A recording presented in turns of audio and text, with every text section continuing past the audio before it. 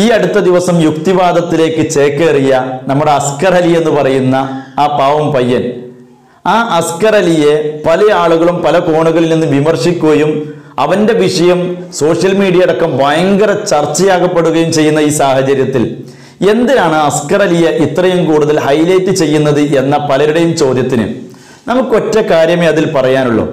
യഥാർത്ഥത്തിൽ അസ്കർ അലിയെ സംബന്ധിച്ചിടത്തോളം ഇസ്ലാമിൽ നിൽക്കലും ഇസ്ലാമിൽ നിന്ന് പുറത്തു പോവലും മറ്റേതെങ്കിലും മതങ്ങൾ സ്വീകരിക്കലും സ്വീകരിക്കാതിരിക്കലും ഇതൊക്കെ അസ്കറിന് ഇന്ത്യ രാജ്യം വകവെച്ചു കൊടുത്ത ഒരു സ്വാതന്ത്ര്യമാണ്.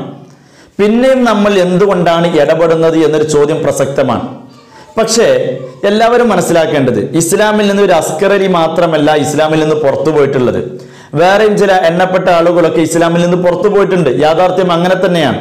പക്ഷെ അവരോടൊന്നും കാണിക്കാത്ത രൂപത്തിൽ വളരെ സ്ട്രോങ് ആയിട്ട് പല വിഷയങ്ങളും ഇടപെട്ട് സംസാരിക്കാനുള്ള കാരണം അസ്കർ മറ്റുള്ളവർ പോകുന്നത് പോലെയല്ല പോയിട്ടുള്ളത്.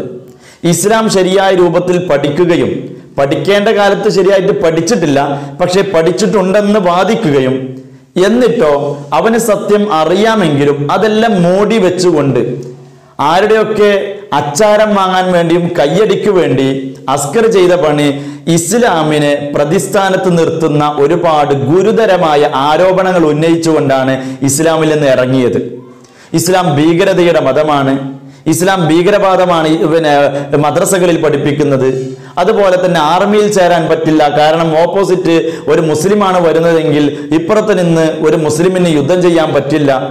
ഇങ്ങനെ തുടങ്ങി. വേറെയും ഒരുപാട് ഗുരുതര ആരോപണങ്ങൾ ഉന്നയിച്ച് പുറത്തു പോയപ്പോഴാണ് യഥാർത്ഥത്തിൽ അസ്കർ അലിയെ സ്വ- സ്വാഭാവികമായിട്ടും മുസ്ലിം പണ്ഡിതന്മാരും അതുപോലെ മുസ്ലിമീങ്ങളും ഒക്കെ ചോദ്യം ചെയ്യാൻ തുടങ്ങിയത്.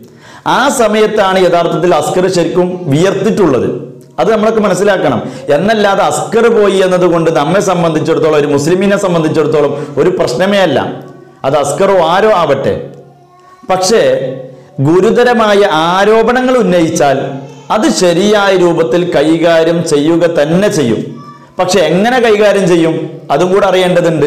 കായികമായിട്ടോ അല്ലെങ്കിൽ തല എടുത്തു കൊണ്ടുപോകലോ കൈ വെട്ടലോ അതുപോലെ ഇടിക്കലോ അടിക്കലോ ഇതൊന്നും അല്ല മുസ്ലിമീങ്ങളുടെ ശൈലി എന്ന് പറയുന്നത്. ഇത് പറയുമ്പോൾ ചില ആളുകൾ പറയും ചേകന്നൂർ മൗലവിയെ തട്ടിക്കൊണ്ടുപോയില്ലേ? ആരാണാ കൊണ്ടുപോയത്? ആ ആളുകളെ പിടിക്കണം. ആരാണോ കൊണ്ടുപോയത്? ഇവിടെയുള്ള യഥാർത്ഥ മുസ്ലിമീങ്ങളാണോ? ഏതെങ്കിലും ഇസ്ലാമിന്റെ നാമധാരികൾ എന്തെങ്കിലും കാട്ടിക്കൂട്ടുന്നതൊക്കെ കണ്ട് അതൊക്കെ ഇസ്ലാമിന്റെ പേരിൽ ചേർത്താൻ പറ്റുമോ? ജോസഫ് മാഷിന്റെ കൈവെട്ടി. ആ ജോസഫ് മാഷിന്റെ കൈവെട്ടിയതിൽ ഏറ്റവും കൂടുതൽ പ്രതിഷേധിച്ചത് ഇവിടെയുള്ള മുസ്ലിമീങ്ങളായ സുന്നത്ത് ജമാഅത്തിന്റെ പ്രവർത്തകരാണ് പണ്ഡിതന്മാരാണ്. അത് കൃത്യമായി അറിയണം. അതിനെതിരെ പള്ളികളിലും കവലകളിലും പ്രസംഗിച്ചവരാണ് ഞങ്ങളൊക്കെ. അപ്പോ ഇത് യഥാർത്ഥ മുസ്ലിമീങ്ങളല്ല ചെയ്തിട്ടുള്ളത്. ഏതെങ്കിലും മുസ്ലിം നാമധാരികൾ എവിടെയൊക്കെ ചെയ്യുന്നത് അതൊന്നും ഇസ്ലാമിന്റെ പേരിൽ തലയിൽ വെച്ച് കെട്ടാനും പറ്റില്ല. അസ്കറിന്റെ ഇത്തരം വിമർശനങ്ങളെ ശരിയായ രൂപത്തിൽ ആശയത്തെ ആശയം കൊണ്ട് തന്നെ ഞങ്ങൾ നേരിടുകയും ചെയ്യും. അതിൽ യാതൊരു സംശയവുമില്ല. കാരണം അസ്കർ പറഞ്ഞു വെച്ചിട്ടുള്ളത് വളരെ ഗുരുതരമായ ആരോപണങ്ങളാണ്. ഇസ്ലാമിനെതിരെ വ്യക്തി വ്യക്തിഹത്യ നടത്താനും മുസ്ലിമീങ്ങൾക്കെതിരെ വ്യക്തിഹത്യ നടത്താനും ഇസ്ലാമിന്റെ ശരിയായ ആശയങ്ങളെ വളച്ചൊടിക്കുകയുമാണ് യഥാർത്ഥത്തിൽ അസ്കർ ചെയ്തിട്ടുള്ളത്. അത് അസ്കറിന്റെ മാത്രം ഒരു വേലയാണെന്ന് ഞങ്ങൾ മനസ്സിലാക്കുന്നില്ല.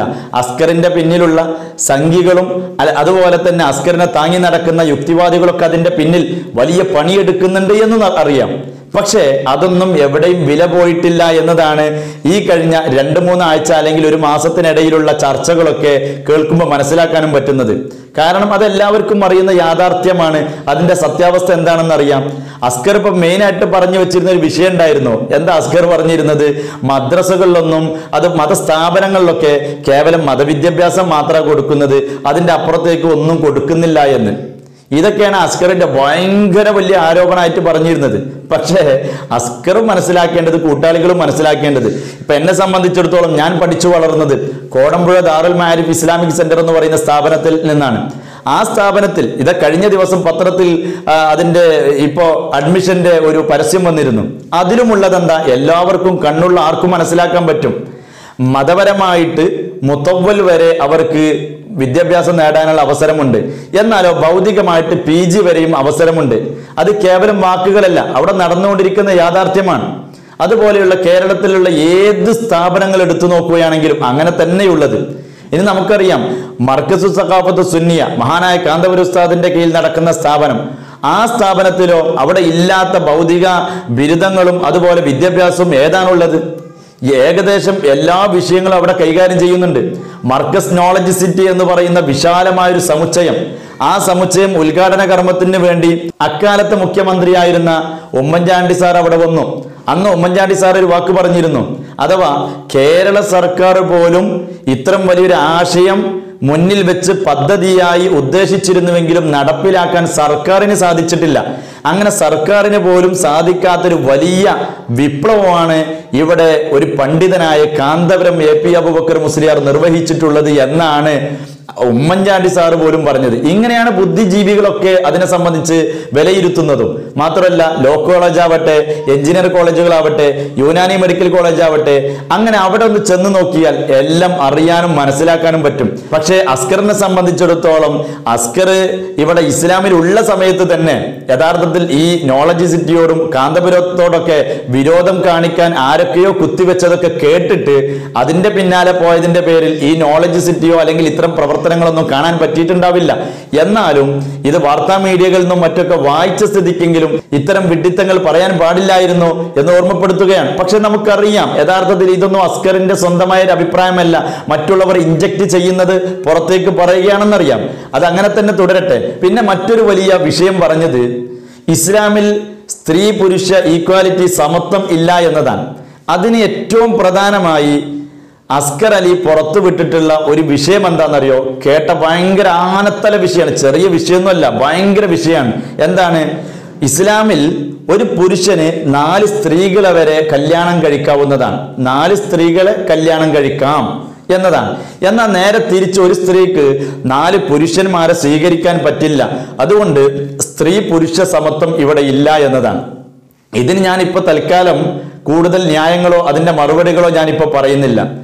ഏതായാലും ഇതെല്ലാം പറ്റുന്നൊരു വിഭാഗമാണല്ലോ യുക്തിവാദം അല്ലെ യുക്തിവാദികൾ എന്നൊക്കെ പറയുന്ന ഇക്കൂട്ടർ അതുകൊണ്ട് യുക്തിവാദികളെ സംബന്ധിച്ചിടത്തോളം നാലോ എട്ടോ പത്തോ പന്ത്രണ്ടോ എത്രയും ആവാമല്ലോ. വിരോധമില്ല. നിങ്ങൾ അതിനനുസരിച്ച് ഉപയോഗപ്പെടുത്തുന്നുണ്ടാവാം. അതിലും ഞാൻ ഇടപെടുന്നില്ല.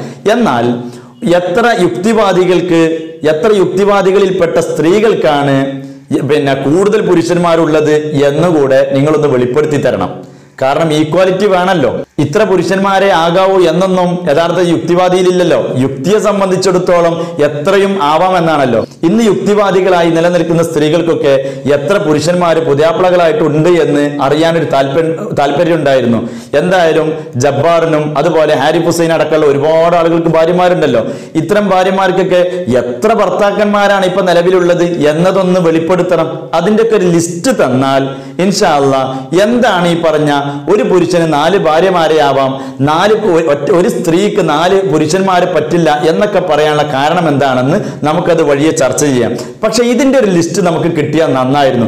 അപ്പൊ പറയുമ്പോൾ ഒന്നുകൂടെ എളുപ്പമാകും. അതിനു വേണ്ടിയാണ് ചോദിച്ചത് എന്നുകൂടെ ഓർമ്മപ്പെടുത്തുകയാണ്. അതുകൊണ്ട് വെല്ലുവിളികളും ആരോപണങ്ങളൊക്കെ ഉന്നയിക്കുമ്പോൾ ഇപ്പുറത്ത് ഈ അസ്കറിനേക്കാളും ബുദ്ധിയും വിവേകവും യുക്തിയും ഒക്കെ ഉള്ള ആളുകൾ ഇപ്പുറത്തും ഉണ്ട് എന്ന് മനസ്സിലാക്കുന്നത് നല്ലതാണ്. അതുകൊണ്ട് അസ്കറെ വീണ്ടും ഓർമ്മപ്പെടുത്താനുള്ളത് അസ്കറിന് പറയാം സത്യസന്ധമായ രൂപത്തിൽ ആരോഗ്യകരമായ രൂപത്തിൽ വിമർശിക്കുകയും ഇടപെടുകയും ചെയ്യാം. പക്ഷേ കളവ് പറഞ്ഞിട്ടും ജസ്ലാം ആടശ്ശേരിയുടെ വാക്കുകൾ കടമെടുക്കുകയാണെങ്കിൽ യുക്തിവാദിയായ ജസ്ലാം യുക്തിവാദിയായ അസ്കറിന് കൊടുത്ത വാക്കുകൾ.